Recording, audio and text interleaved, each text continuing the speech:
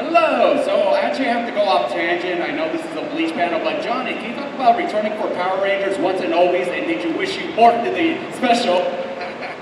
Uh, well, it was uh, fun. It was great to go back. Um, yeah, just a cameo. Um, it would have been awesome to morph, but this is kind of like so like Netflix basically gave Hasbro a little bit of money to be able to do this thing. You know, if they gave them more money, I'm sure they would have brought more people. They would have made it even bigger. Uh, but I think what they did was was right. They you know they gave even our characters, Karan and I, a little bit of you know uh, a new history, I guess. Um, so yeah, I mean Netflix didn't know that people still watch Power Rangers. You know, so when it became like the most anticipated show, I think they were like, wait a second, there's something here. And so who knows? You know, maybe there's a chance for them to do a whole retro Rangers season, but you know, of course it would have been great. I mean, I, I did, of course, email. I was like, do I get to fight at least?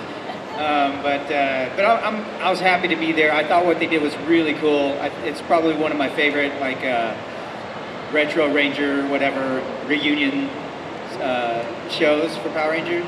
Um, I thought they did a good job, and it felt like the old series, you know. Um, and I thought they did justice for you know Walter's character as well as you know David's, and I thought uh, tributes to the people that we lost. I thought were really really sweet. It was a very touching, you know, heartfelt uh, episode or series. So it was it was cool. I dug it. I got no complaints really. Yeah, me too, John. I love the special too. Thank you. Yeah.